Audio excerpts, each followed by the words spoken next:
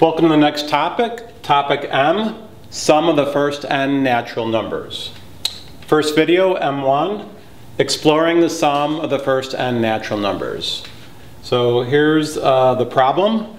Um, there's a story that this is a problem that uh, Gauss was given by his teacher at the age of 10. The teacher just wanted um, the kids to uh, be occupied so he could grade papers and not be um, bothered. So the teacher said, class, find the sum of the first 100 counting numbers. And most people did 1 plus 2 plus 3 and just did it that way.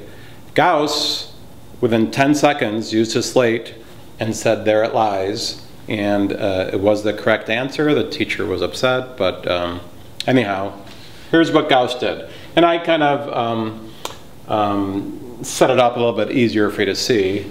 What Gauss is, what Gauss did is he wrote the uh, numbers this way and realized if he paired 1 and 100, he got 101. 2 and 99, he got 101. 3 and 98, he got 101. And he said, there's 50 pairs, so 50 times 101 um, is the is the answer. And 50 times 100 is 5,000. Add another 50, you get 5,050. So Gauss did all that within 10 seconds, basically came up with that uh, concept. Um, all right, so now the formula uh, is going to simply be this. Let's let the last natural number be n. Well, then the sums is going to be n plus 1.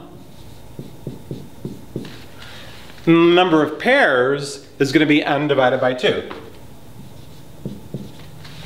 Okay, so again, this is the number of pairs, and this is the sum of each pair. So n over 2 times uh, n plus 1.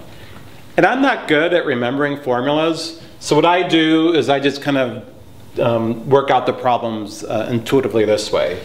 I find the sum, uh, the sum of the outers, and then I find how many pairs there are. Uh, so once again, the formula is n over 2 multiplied by n plus 1. And there you have it uh, exploring the formula for the sum of the first n natural numbers.